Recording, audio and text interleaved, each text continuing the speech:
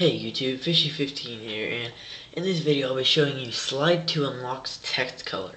I know a lot of you have asked me about this on my other channel, and what this allows you to do is change the text color on your lock screen.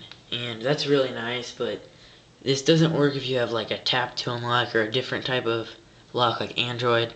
But this is just really neat. You can pick from like blue, orange, red, violet, pink, you know, all those colors.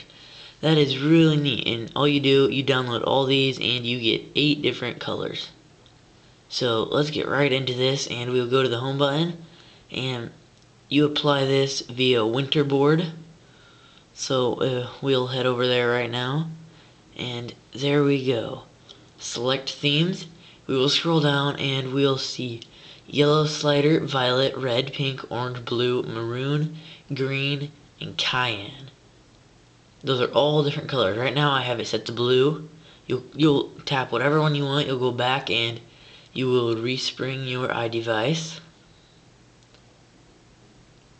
And let's check this out. Alright, here we go. We're on the lock screen right now. As you can see where my device says slide to unlock, there's that little blue thing that goes right there.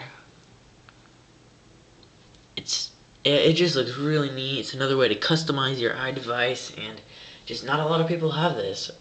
Alright, if you guys would please rate, comment, subscribe, that would be really good.